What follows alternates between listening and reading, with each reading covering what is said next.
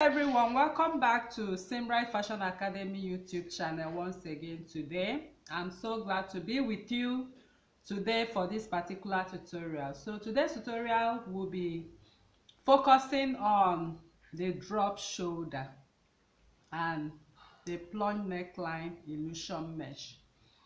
So if you look at the picture on the thumbnail you'll notice that we have a drop shoulder we have an illusion mesh together with the the outfit.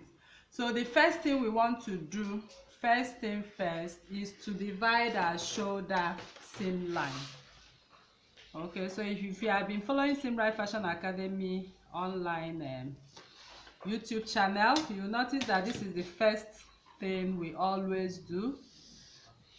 So for this particular for you to follow this tutorial you need to know how to draft your basic bodice okay? So this is the basic bodice and i'll be dropping the link on the description box below. So i have my shoulder line. This is the shoulder at which all measurements are being taken from. I have the chest line. This is the bust point. This is the under bust point. And then i have my waist line.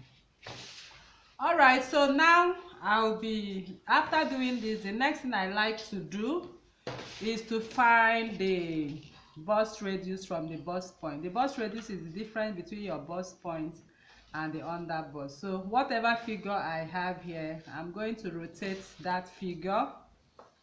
I'm rotating it. This will help me to know whether the bust is going to be exposed or not and also when padding this dress I use these lines to pad them as well okay?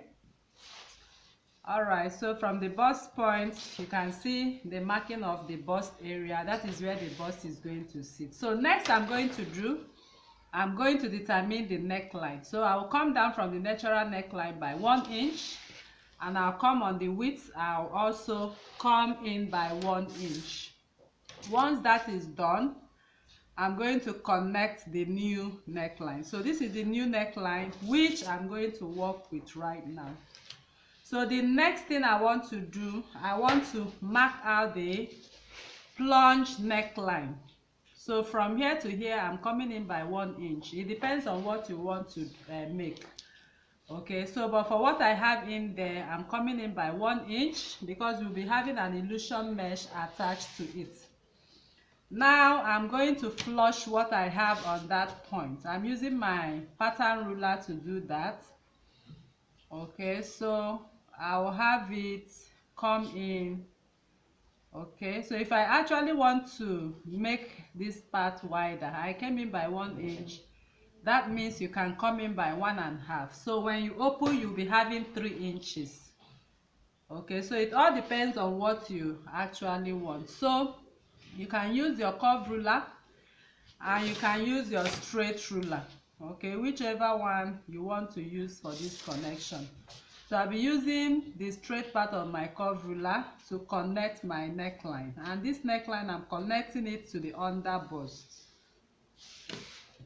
can you see? So i've connected it. So all of this is my mesh.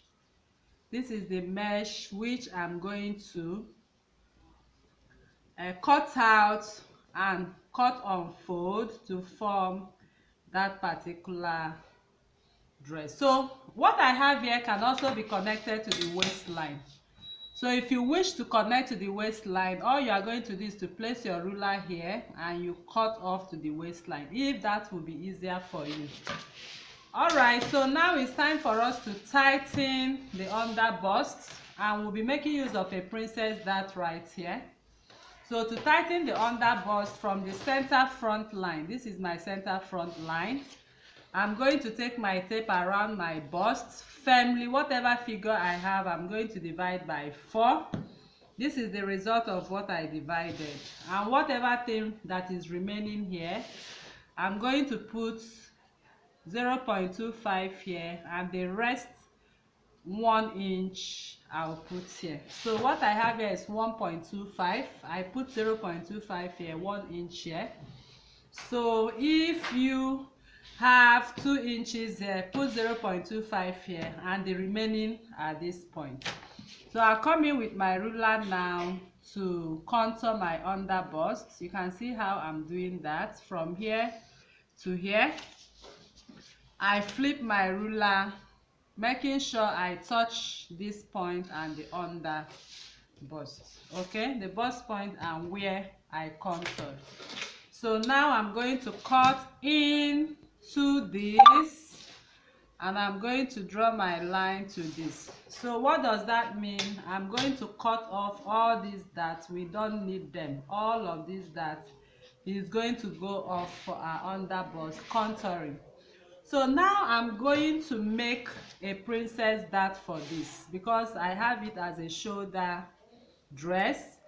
So princess dart is going to be quite fitting. So here i have 10 inches and half of 10 inches is 5 inches. So it depends on what you actually want to make okay? Sometimes from the midpoint you can come up by one inch depending on the kind of princess dart. You can come down by you can even take it at the midpoint so i'm making a full princess that i'll come down by one inch and make my mark from the midpoint so i'll be placing my ruler to curve into the one inch I made and into the bust point. And on the armhole line I'll come out by one inch. We do this to accommodate our that. So here I come in by one inch to extend or recreate my new armhole. So I'm recreating my new armhole as you can see right now. So now my new armhole has been recreated for the uh, princess dart okay? So it's time for the business of this tutorial which is the drop shoulder. So for the drop shoulder simply is an extension of your shoulder into the arm okay? As if you have a sleeve but the sleeve is connected it's like a cap sleeve connected to the armhole uh, to the shoulder line okay? So instead of attaching a sleeve you can make yourself a little sleeve to cover up your arm. So this is how i do i have my drop shoulder connection. I use my ruler i come in you can see me pushing it in pushing it in pushing it in till i get the curvy curvy part of my ruler can you see? And that curvy part of my ruler has to match up with this line i'm making the mark right now can you see? So once it comes in like that because this is the shape of the arm i'm going to take my tape from the mid armhole uh, connection from the junction of the armhole and the shoulder seam line. So i'm going to measure at three inches. Can you see? So this is my three inches and that is where I'm going to have my my uh, drop shoulder okay? So this is the midpoint the midpoint of my armhole. If you remember when we are creating our chest line the chest line is from the tip of the shoulder eight inches okay? Sorry about that so eight inches from the tip of the uh, shoulder to the chest line okay? Whatever figure you have divide by two. This should be the mid armhole. So from the mid armhole i'm going to connect my three inches. And i want you to also note how i'm placing my ruler because this is what makes your drop shoulder come out accurately. So can you see that the way i place my ruler i come into this curve i meet the mid armhole and i return. So this is that and it's perfect for any drop shoulder of your choice. Okay so this is it and that is what we have for the front and we are done with the front. The next thing i'm going to do now is to cut out these beautiful pieces. Okay so now i'm going to go over to the back. The back is very simple. You can have a high neck for the back and you can also have um, you can have a zipper at the back okay? So you can also sew your dart we are not doing anything too serious unless you want a princess dart for the back. So if you need a princess dart all you are going to do is to take the armhole line just go around it find the mid armhole. So here i have my mid armhole. So for the back i'll connect my princess dart directly to the mid armhole.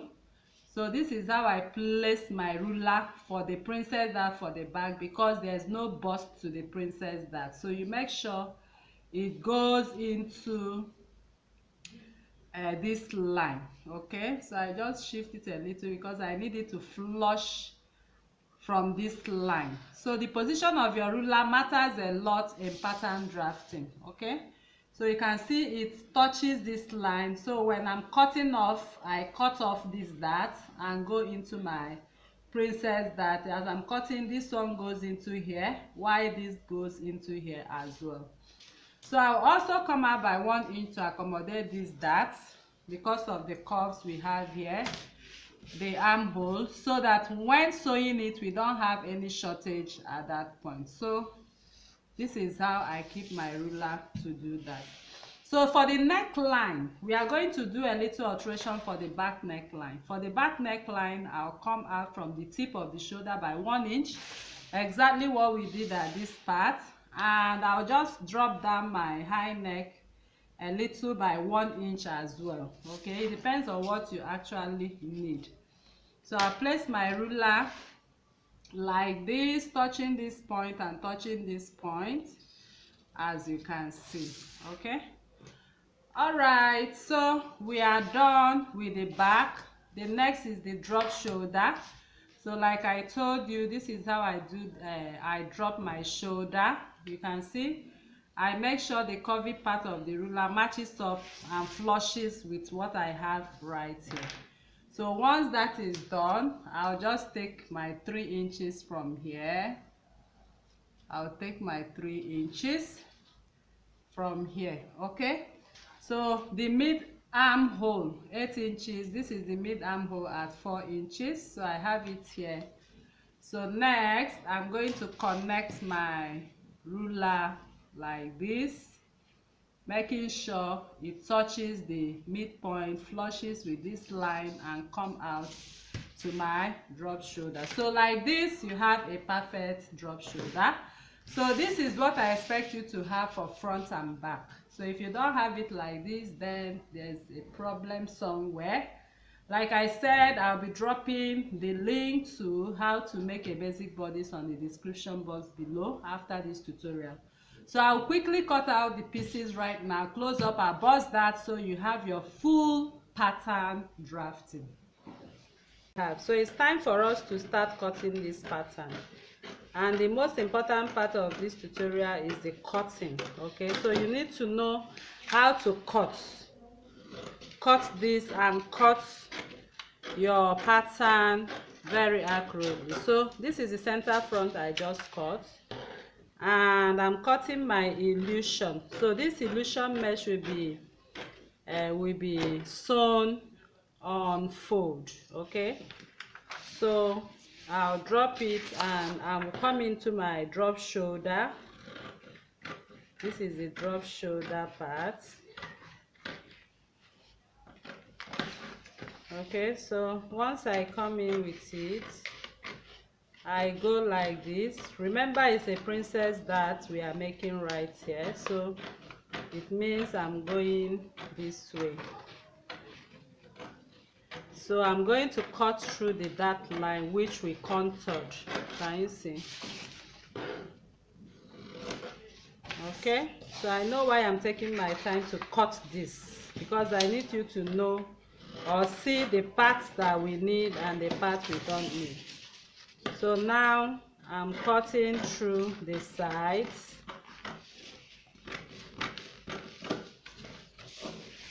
And I'll cut through the armhole which we added for our princess dart accommodation okay?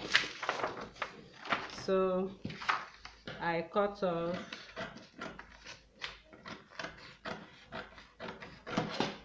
okay take off this that we don't need it. Open up my bust dart apply my adhesive and close it okay? That i will do later. So coming over to the back i'm cutting off the back. Remember it's a princess dart for the back. So if it since it's a princess dart it means i'm going through the princess line like this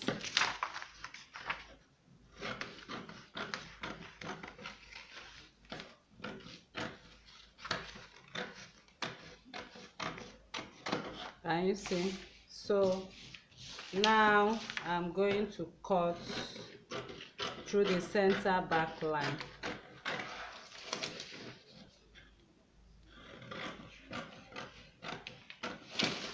Okay?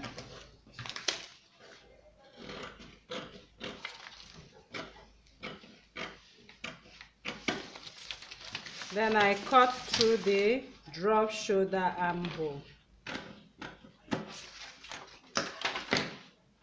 alright people. So the darts in here for the back I'm also going to cut it off. So this is what you will be having for the back. So when you sew your princess dart for the back this is what you are going to have. Can you see? Okay so for the front this is what you are going to also have for the front. After i have closed my bust dart you'll be having something like this. This part will be cut on fold and attached from the neckline can you see that? So when cutting this we are going to cut two times of this. You cut two times of this for right and left.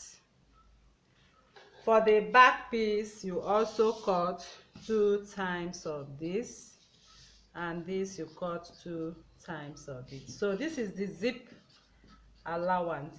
So you'll be adding your seam allowances all over to stitch this and this 0.5 to stitch it. To sew this and this 0.5 so after sewing this uh, you come in with this unfold this is going to be unfold and sewn like this okay?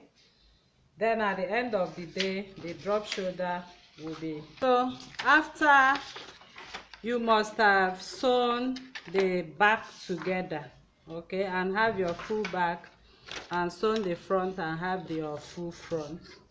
Your drop shoulder back this is the back of the drop shoulder and the front of the drop shoulder okay? So this drop shoulder is going to be sewn together from shoulder to shoulder can you see? So it will be sewn together okay? So you have your full drop shoulder and the armhole at that point okay? All right so if you want to learn more we have our telegram classes okay? So you can join us on telegram so you'll be able to learn more on most unique sewing techniques okay? All right so that is how we come to the end of this tutorial and this is what you have as your pattern front and back so i believe you enjoyed this tutorial. So if you are new to this channel please kindly subscribe turn on your notification bell to receive videos like this each week. Like this video share to family and friends and drop your comments on the comment section as well and your suggestions as well okay? So thank you for watching and see you in my next video. Bye